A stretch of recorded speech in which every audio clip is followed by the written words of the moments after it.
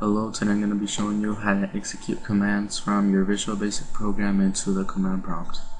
So open up your application, add a button. Okay. and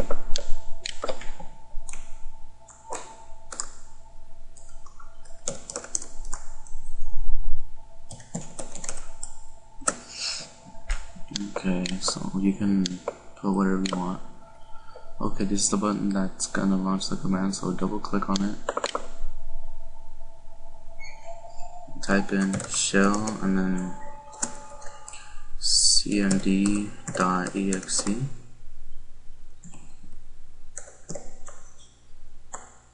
Okay, now that's gonna launch, that's gonna open up command prompt.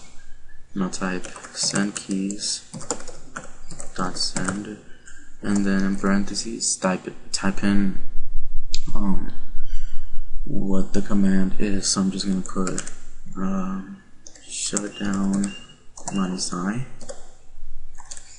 It can be your own command just I'm doing this one. And then type in send keys. And then dot send. And then uh, you put this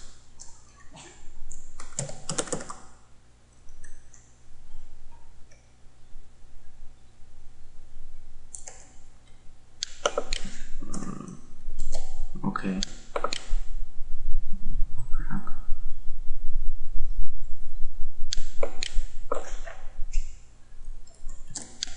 Okay, this is gonna be in the description too, so don't worry.